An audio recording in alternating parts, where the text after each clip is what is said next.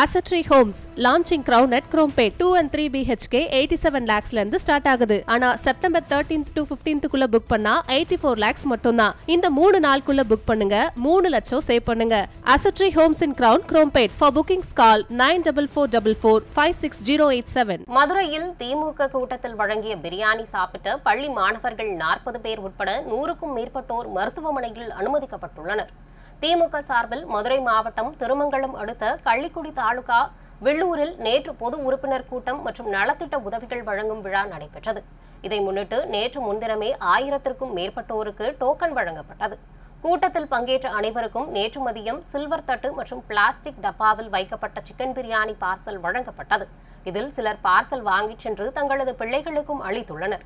இந்நிலையில் பிரியாணி சாப்பிட்ட நூறுக்கும் மேற்பட்டோருக்கு நேற்று இரவு எட்டு மணிக்கு மேல் திடீரென வாந்தி மயக்கம் ஏற்பட்டது.